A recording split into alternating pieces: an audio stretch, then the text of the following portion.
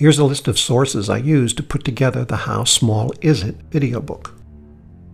These books, videos, and websites also represent resources you can use to do additional research into areas touched on in this video book.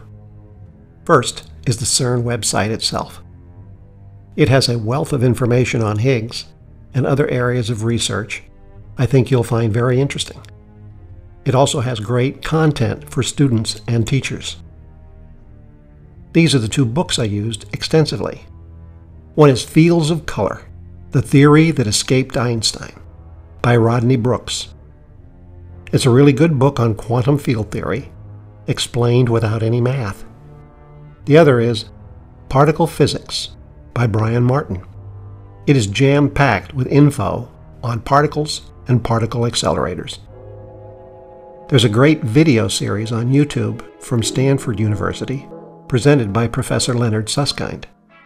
I used it extensively, and I think you'll find it fascinating, especially the finale on demystifying the Higgs boson. This is Professor Matt Strassler's website.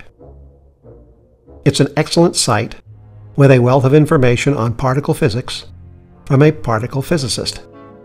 I used it extensively in the Higgs boson segment. Hyperphysics is the physics department website at Georgia State University.